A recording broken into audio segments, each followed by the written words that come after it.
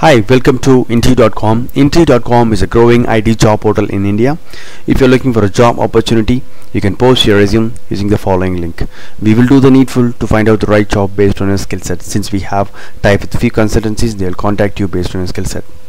I'm going to present here top 10 Spring MVC interview questions, which are very very important for your interview.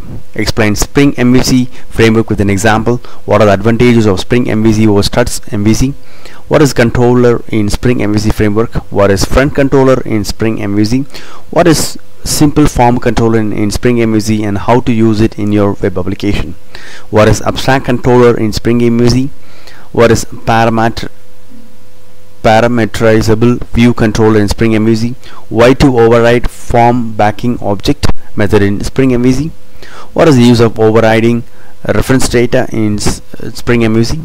When and how to use multi-action controller in Spring MVC?